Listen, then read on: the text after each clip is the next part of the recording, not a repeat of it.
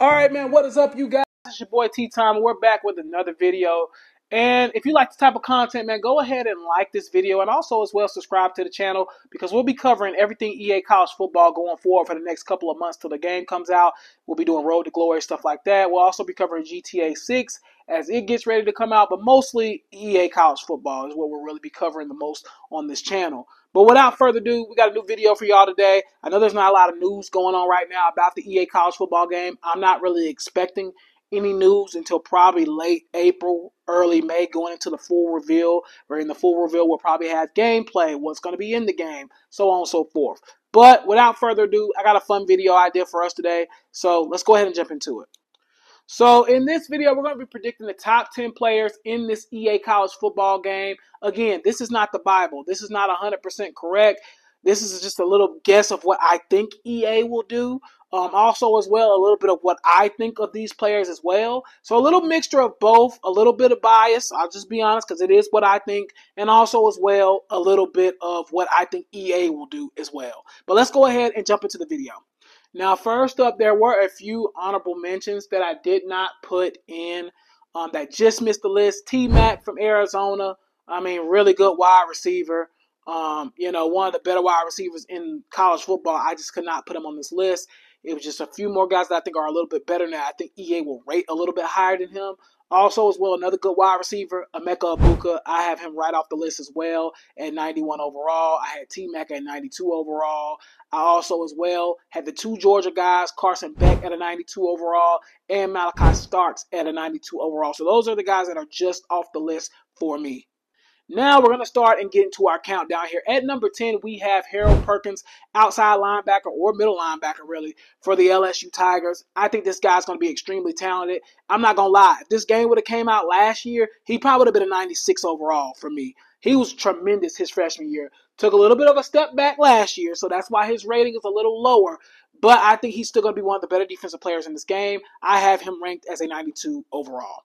All right, at number nine, we're staying with the LSU Tigers, man. I have offensive tackle Will Campbell coming in at a 93 overall. He's probably going to be the second highest rated um, offensive tackle in this game. We'll get to the other one later on in this list, but I think he's going to be really good. Again, I know it's not sexy to put offensive alignment up here, but I'm telling you, this guy's probably going to be a top 10 pick in this upcoming draft this year. And I think EA is going to look at that as well and look at everything that he's accomplished in his career, and he's going to be pretty highly rated, man. I have him at a 93 overall. At number eight, this one might be a little controversial. I have Quinn Ewers at a 94 overall. Um, I think he's a really good player. I'm not gonna lie, I do think he is a little bit overhyped, but I think EA is probably gonna overhype him a little bit too. Um, so I could definitely see him even being higher than this 94.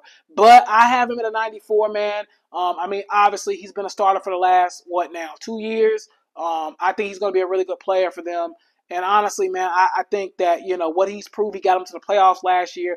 Uh, coming off injuries, he did have some injury issues, but he still had a pretty decent year this past year. Not great, but decent. I think that you know he's going to be pretty high rated in this game, and just off of marketability alone, man, he's one of the well-known names in college football. I think EA is going to rate him pretty high.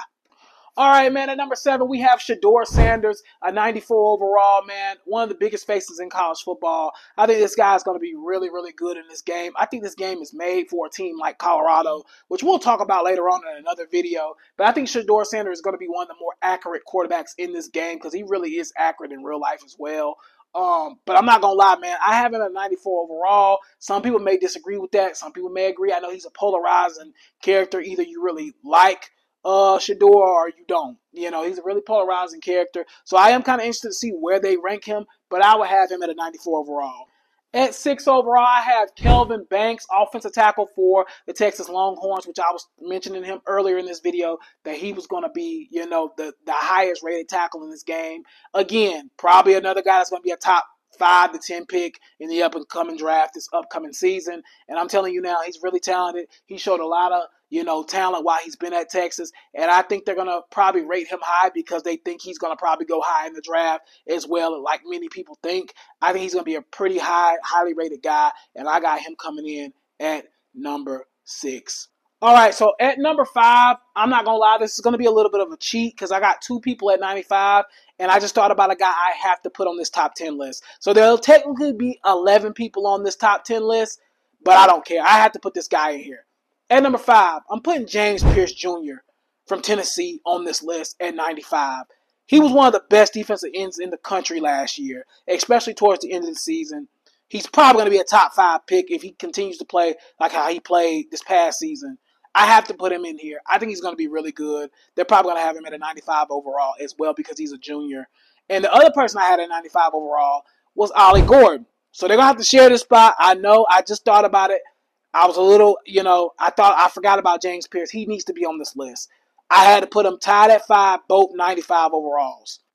All right, man. So also at a 95 overall, I have safety from Ohio State, Caleb Downs. Now, I'm not to lie. If he was a senior or a junior, he'd be a 99 overall.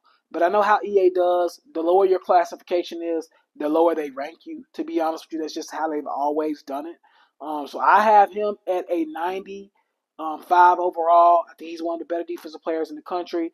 Um, like I said, I think he was the best player at Bama last year, and I have him at the 95 overall. He's going to be a big difference maker for the Buckeyes in the new year college football game. At number three, I have Missouri wide receiver Luther Burden, man. This guy's an absolute burner, man. He makes plays all over the field. Him and Brady Cook cooked up a lot last year, man. No pun intended. And, man, I'm telling you now, he's going to be a fun one to play with on this game, man. And he's just a dynamic playmaker, man. That's really just what he does. He's a playmaker, and he makes plays. And you've seen it a lot for Missouri this year. I mean, they had their best year in program history in a while to be honest with you. Um, so once again, Luther Burden was one of the main reasons for that, and I think he's going to be a 96 overall in this game. At number two, you could argue is the best corner in the game. I have Michigan Wolverines Will Johnson at a 96 overall. I think this guy's going to be a top 10 pick in the draft next year. Probably the best corner in college football, to be honest with you, just pure corner. And I'm telling you now, he's going to be highly rated. He's going to be able to shut down one side of the field on EA college football game and in real life. He's done it before. I'm telling you now, Will Johnson will be rated probably 96, 97, and he's a junior on top of that. He will be rated pretty high. I don't have anybody in the 99 club, so before we get to number one, I do want to let that be known. Nobody made the 99 club this season. At number one, I think this was pretty self explanatory by the thumbnail. Travis Hunter will be the highest rated player on this game at a 97 overall. And that's because he can play both sides of the ball, and he's really good at both, at wide receiver and also as well corner. I have him as a 97 overall. I think this game is just fit for a team like you know Colorado, and I think it's going to be fun to play with. You know Travis Hunter on both sides of the ball, defensively and offensively. So I have him as my highest rated player on this game.